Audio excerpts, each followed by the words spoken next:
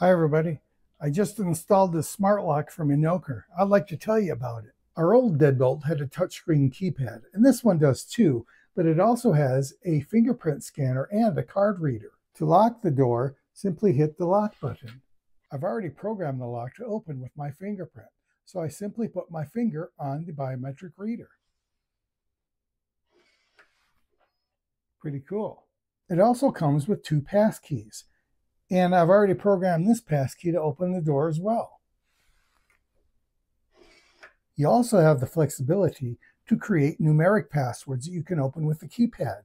You can create a password that expires after one use, or that expires within 24 hours, or that is only active within a certain date on certain days of the week during certain times. You really have a lot of flexibility here. If you want, the app will notify you every time someone opens or closes the lock. However, I found that feature super annoying and disabled it immediately.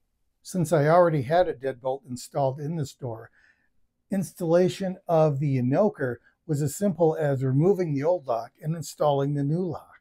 The Enoker Smart Lock does require four AA batteries, which they do include, and when the power gets low, it will flash a red light and tell you to replace the battery.